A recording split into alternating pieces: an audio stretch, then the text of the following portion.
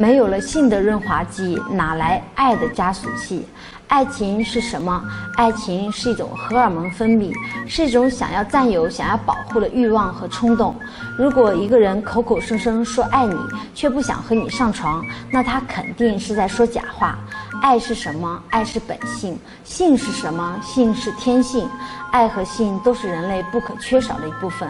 但凡是人都会有欲望，所以当你爱上一个姑娘，你觉得把持不住，想拥抱她柔软的腰肢，想亲吻她甜美的嘴唇，想要爱她去占有她，这太正常不过了。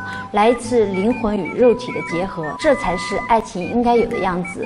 爱到极致要怎么表达出来？最好的办法就是用两个人身体和灵魂谱出一段美好的爱情乐章。